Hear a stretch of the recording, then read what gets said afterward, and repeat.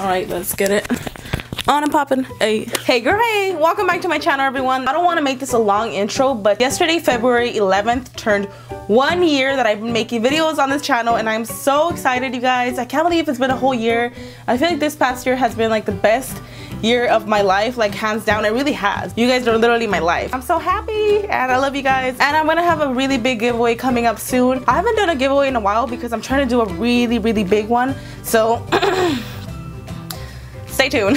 God, I feel like this is gonna be a really long intro, but I just wanna get this stuff across. So this video is pretty much dangerous life hacks or like dangerous things that girls do for beauty. It was actually really hard for me to film this video because I was trying to try all of them out and some of them I just couldn't try out. This video is also a collaboration with a life hacks queen herself, Natalie from Natalie's Outlet. Natalie is one of my best friends here on YouTube. She makes amazing content and if you like life hacks and you like a bunch of like crazy stuff, you're gonna love her channel. So make sure you go check out her video. So go check her out. I'm gonna link her video down below. Go tell her I sent you, subscribe, comment, and if you like this video, comment, subscribe. Wait, what am I saying? If you like this video, you know, click that like button, go check Natalie out, subscribe to her, and let's get on to this video.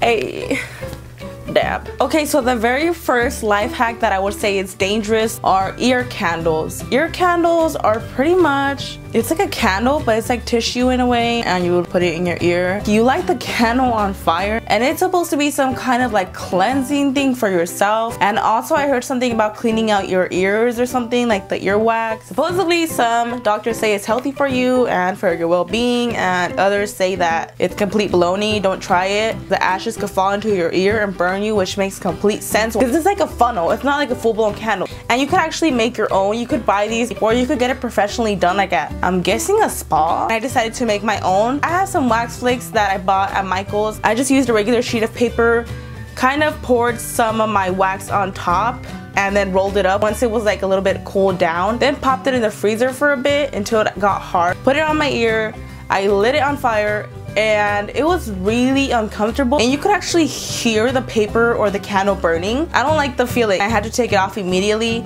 It started to feel funny. What I saw online, it really cleans them out like really good, but it's also really dangerous. I don't even see how that can be healthy, but I genuinely would not try it. The next hack, or it's not necessarily a hack actually, a lot of these are not hacks. It's just things that people do for beauty that's kind of ridiculous, is Sharpie as eyeliner. I know Taylor Swift mentioned once that she uses Sharpie for her eyeliner. Was it her eyeliner or her eyebrows. It wasn't her eyebrows, I mean, unless she was like a chola or something.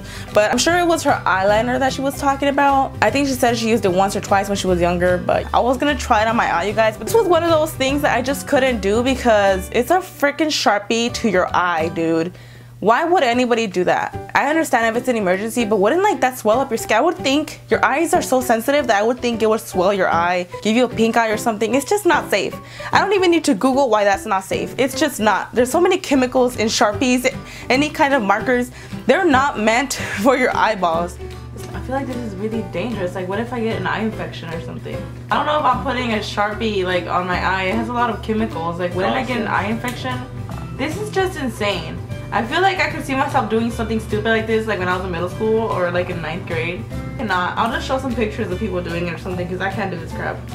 Okay, so this thing that people do, I've seen it before because I, I don't know when it was. It was a while back that I was looking at YouTube videos way back, like before I started YouTube videos, I'm gonna say like three or four years ago, people would put a freaking nail between their two front teeth. They would hit it with a hammer to get a gap in between their teeth. Women look really beautiful with their gap and stuff, but I mean, that's something that should be just natural, or if you really want a gap between your teeth, go to a dentist or something. How the heck do you put a nail and a hammer to your mouth? I tried it out a little bit, and I didn't try it out as in like try to freaking bang it across my face. Barely even tapped my tooth, you guys, and I can't even believe believe I did this. Hammers are heavy. I felt like I could have chipped my tooth off just by hitting it barely. I just wanted to show you guys, don't do that crap. Wouldn't it chip your tooth off if you miss? What if when you're doing it, like you break both your teeth off? It's just little things that people do that I'm just like, what the heck is going on? Okay, this next one is one of those that I can't try for obvious reasons. It is setting your face on fire. they put like a towel on your face with alcohol and then they light it on fire and just for seconds. Right before it reaches to your skin, they put it out. And the benefits of this is supposedly it combats colds, it helps with weight loss and cures those. Oh snap! Maybe I should try it. just kidding. It's also supposed to like help you from aging or something like that. It's one of those things that if you were to go to a professional spa, it kind of makes sense like with a professional. But if you really think about it, that is just borderline insane. Who even thought about this? Like, oh, let's light our face on fire and see what happens. I guess it has some benefits, but I just feel like I wouldn't try it. And it's something you should not try at home no matter what. No matter how much research you do, I would not try this at home. So this next hack, it's not even, I don't know. I saw it online. It's about setting your face, your makeup with hairspray. I haven't set my face at all today. I've been wearing this makeup for a few hours now, so I'm gonna set my face with some hairspray. My face is probably gonna be sticky the rest of this video. Hold on, you guys, I will be right back. Uh, it doesn't say what kind of hairspray you need to use. I mean, I would think it's dangerous. First of all, like, this is hazard, fire hazard, hello, on your face. And then again, you think about it, and there's people using, like, is it shave cream or aftershave cream that they're using, like, for primer and stuff, and I heard that works amazing, but I mean, hairspray to set your foundation and stuff. I just don't know. Hold on, not enough. Oh my god, no.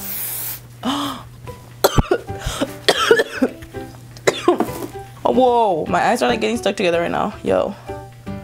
Dude, I'm like breathing in so many fumes right now. If I were to put a freaking lighter next to my face right now, I'd probably explode. Oh my god. What kind of sorcery is this? Oh my god.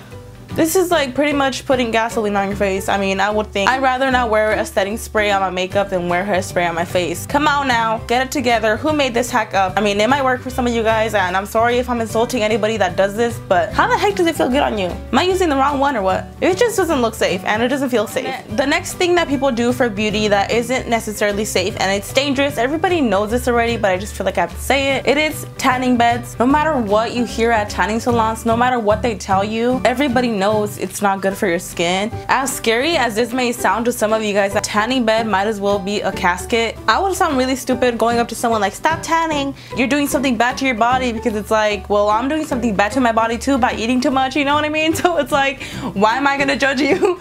But what I'm trying to say is it's one of those things that we all know is unhealthy and a lot of us do it. I've never ever tan in a bed, but I do tan like with um, the lotions and stuff and they're probably not safe either but I'm no scientist like, I'm not that smart with stuff like that not gonna lie but I feel like it might be healthier. Just facts that I'm saying.